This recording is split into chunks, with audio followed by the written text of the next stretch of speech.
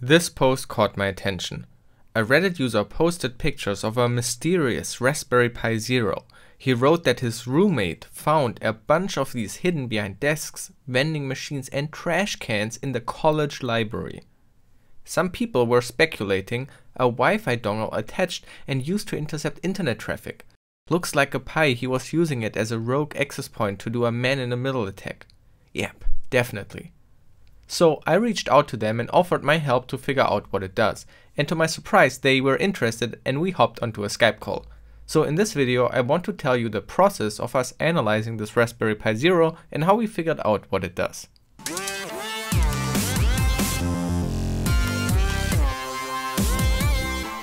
Before I joined this fun, they already took the SD card out of the Raspberry Pi and plugged it into a PC. This caused an F drive to show up, it's called boot and contains some weird files that can be really confusing. They first thought it's encrypted stuff, but they quickly realized that maybe Windows is not the best operating system to look at this. Actually, when you open the Windows Disk Management utility, you can see that the F drive is only one partition on this whole removable disk, and there are 3.6 gigabytes in another partition. But Windows didn't mount this. Windows only automatically mounted and made the file system accessible for the first partition called boot. That file system was FAT32. The file allocation table FAT is a computer file system. The FAT file system is a legacy file system and proves to be simple and robust. If you are a Windows user, you definitely have seen FAT before. It's very simple and very old, so a lot of systems support that, and so it's used for the boot partition of the Raspberry Pi. Also Google is your best friend if you are confused by those files here. You can simply pick one and Google it. You will quickly find this repository with that file and it looks exactly like that on the partition. And as you can see, this is part of the official Raspberry Pi firmware repository. This repository contains precompiled binaries of the current Raspberry Pi kernel and modules, user space libraries, and bootloader GPU firmware. Because we are looking here for whatever this Raspberry Pi does, these files are mostly uninteresting. They are just part of the Raspberry Pi system and we can ignore them. However, when you are very careful, you might notice that there is one weird file, waitz.txt, and it contains the Wi-Fi and Bluetooth MAC address. We didn't know what to make from it, just keep the name in the back of your mind, it will come up again. So our goal was it to look at the second partition. And the issue why Windows can't mount it is because it's very likely a typical Linux file system like ext4. The ext4 or fourth extended file system is a journaling file system for Linux, developed as the successor to ext3. And Windows just doesn't have file system drivers to understand that file system. Those bits and bytes on there just don't make sense for Windows. Because I was in a Skype call with this guy, we first tried to make this work on his Windows machine, and we found and downloaded a program called Ext2Fsd, hoping it would allow Windows to mount it, but it later said that it can't process ext4, so that didn't work. Of course, we also thought about different options. Either we try to create an image of the SD card and upload it so I can have a look at it on a Linux machine, or he could install a Linux virtual machine. Before we install a full VM, we tried the Windows Linux subsystem where you get kind of like a Ubuntu VM inside of Windows and I thought that could then just mount it. Then we thought about using DD in Linux to create an image, but nope, the drives are not exposed and accessible from in there. This was all so frustrating. Okay, so I guess we have to download a tool for Windows to create an image of this SD card. I did a quick Google search for Windows DD alternatives and I found this image burner tool, hoping it could just create the damn image from the card. And now something very embarrassing happened. So when downloading that tool, we made sure to use the site's own mirror so we don't get malware bundled software from these shady mirrors. And when he installs it, this happened.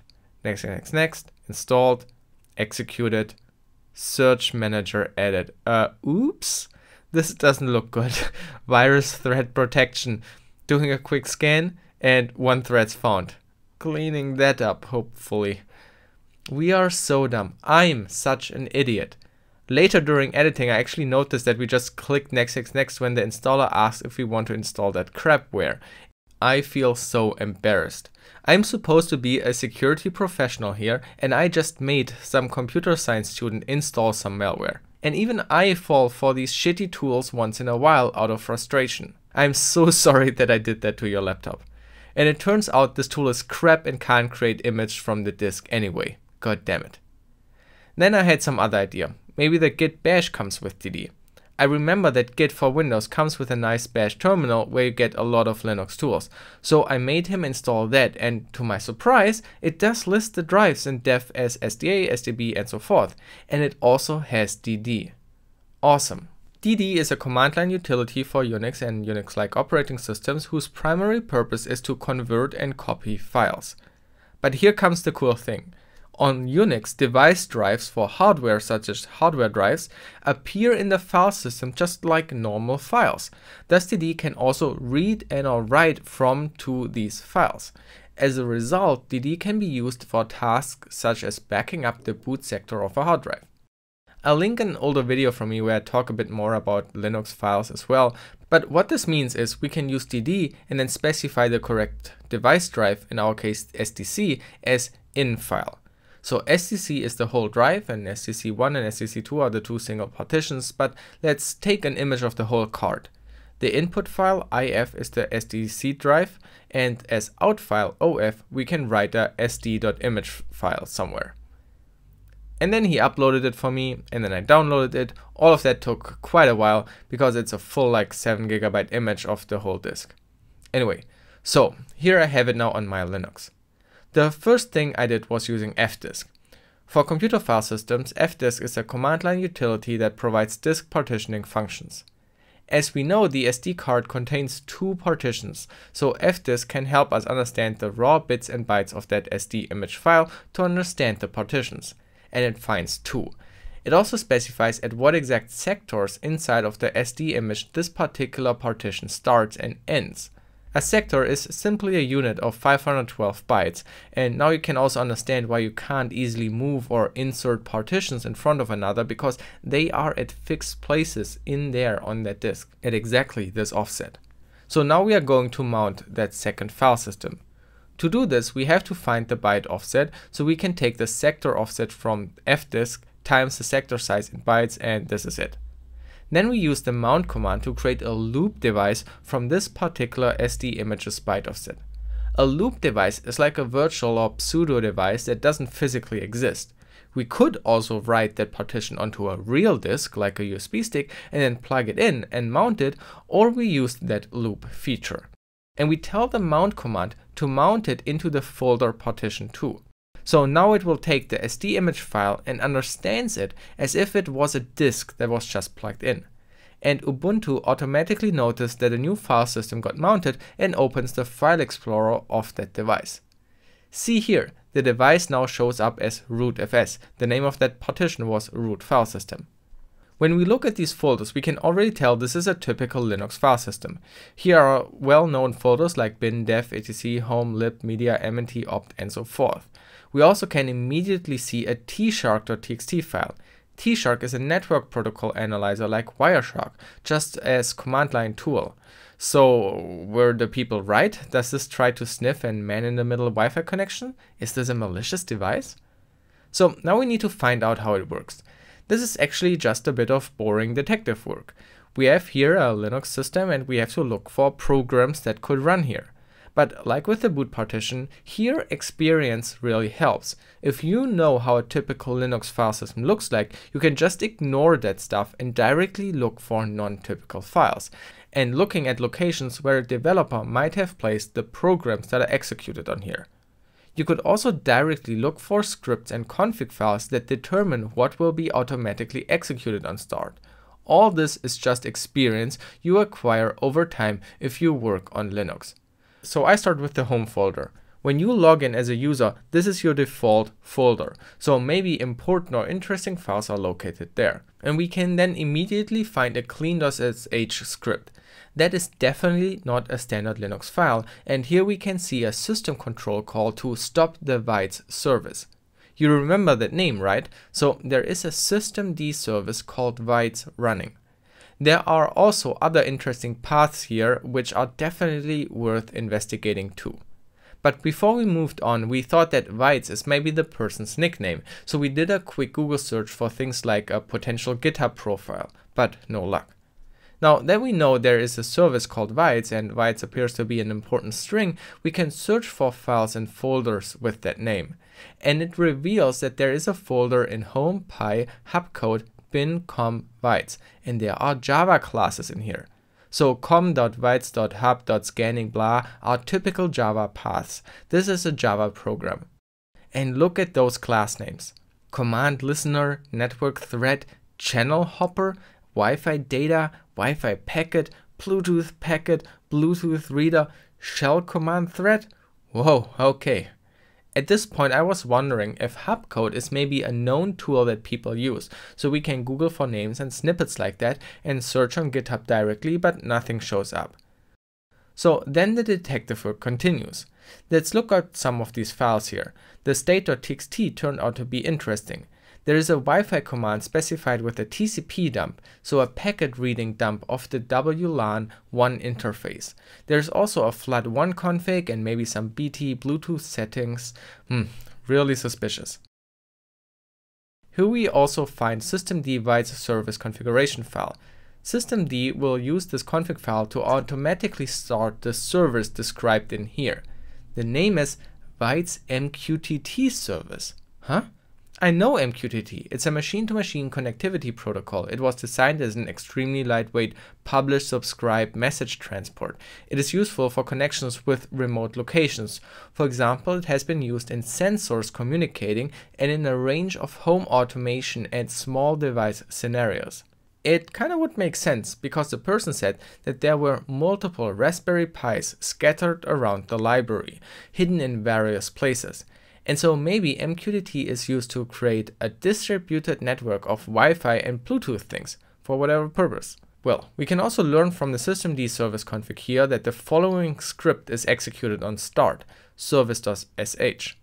And in there, there are a few interesting comments. Get device information, download bundle, unzipping bundle, blah, looks like an update mechanism. And when that is done, it will call the hubcode script start.sh. And look at that one. This prints starting Waitz service script. It will make sure that the system has Tshark installed, then it will call Tshark on the WLAN 1 interface, and it also seems to get some broker credentials. Broker is a term from MQTT, so this again reinforces that MQTT is in fact used here. And then later, the Java application is executed, the Waitz Hub production program, and it even sets an include path for a MQTT library. So yep, okay, there is some MQTT communication going on. We can also have a look at the get creds Python script because credentials are always cool and it will use the Amazon API to get them. But to do so, you need to know those parameters sent along the request. And in the gen token module, we should be able to find those parameters. And that module will actually execute a script called fingerprint.sh and take the output as a secret and then calculate like a secret token. CRC 32 of the secret plus the current time. Okay. My code audit inner self is screaming loud right now because I see what they try to do here, but they use CRC32 with a secret concatenated to the time. My chest hurts. They actually want to use HMAC instead. But in the end, it doesn't matter too much because while the fingerprint is like a unique hardware ID based on the Bluetooth MAC, the Wi-Fi MAC and the Pi serial number, this is not perfect. Anybody with access to such a Raspberry Pi can easily extract or possibly even guess those values because none of these are really random. So because anybody with physical access can always extract those tokens, I suggest to just use a pre-shared secret unique to each device like an API token it can be compromised, but you can also then revoke access to that particular API token. This little bit of obfuscation here is useless for anybody who actually wants to do harm and figure out the secret. It just takes like one minute longer to get it, but adds unnecessary development complexity. You actually can't do this better with a Raspberry Pi. It's not a secure hardware device. Anyway, we were going basically slowly through all scripts and codes. At some point even used JDGUI to look at the Java classes to understand what they are doing. I mean, at this point, it's just like reading code of any program project. It's just like a code audit or getting familiar with a new project. You just have to know how to read code and how software projects might be structured and deployed. Our main goal was to determine if this is a malicious actor who wanted to attack or sniff Wi-Fi of students in the library or if this is a harmless school project. So we spent maybe one or two hours on looking around, reading those files and slowly assemble the mysterious puzzle of what this is. So fast forward a bit. We slowly realized that it doesn't do much. It does not collect any packet data or trying to sniff passwords or whatever. Actually, it just logs MAC addresses that it finds from Bluetooth and Wi-Fi devices in the area. This is to 99% just to track people. This is a very typical application. Probably every public place you go has stuff like this. Probably most shopping malls or airports do that. It helps to automatically record how busy areas are and how people are moving through a building. This is very valuable data for businesses. They don't care about the individual person, it's just to understand the flow of people. So this is probably doing a similar thing. One other thing we did was we knew the Raspberry Pi Zero has Bluetooth and the Wi-Fi dongle is actually a dual band and offers two Wi-Fi interfaces. So if it is monitoring Bluetooth and Wi-Fi in the area, it probably would also use the second Wi-Fi to connect to the school's Wi-Fi to use MQTT and send away the data. So we thought it would be interesting to find the username and password they are using to connect to the Wi-Fi. So I can easily search for that files on the Raspberry Pi. He told me the name of the school and the name of the school's Wi-Fi. He is from UCSD. And like I often do, I Google stuff. And for whatever reason, I decided to Google Waitz USD to see if there is any connection. And this Reddit thread pops up. UCSD, the name of the school, Waitz. Did they stop supporting the app? Now listen to this beautiful reaction. Whoa, whoa, whoa, whoa, what? And we find this website. Is this it? What does Waitz do? Waitz reports real-time busyness for locations around campus. How does Waitz work? Waitz gathers our data through small hardware devices. These devices pick up smartphone signals in the area around them. We then normalize these signals to reach a busyness measurement. Don't waste time, know before you go. So this was just part of a network to give students indication how busy certain areas at the school are. Actually, that's a really cool and useful project. But oh man. Oh my god. Wait. you found it. Okay, I guess I'll contact them and say I found one of their things. And you know what makes the whole story even more beautiful? There was actually a comment 9 hours before we figured it out on the original thread on Reddit. Please return this to the library. This is property of Waitz. It isn't nefarious. It is extremely basic and giving you an idea of how many people are in the library. Waitz was started by a recent graduate who did this project while enrolled at the university. This was so much fun.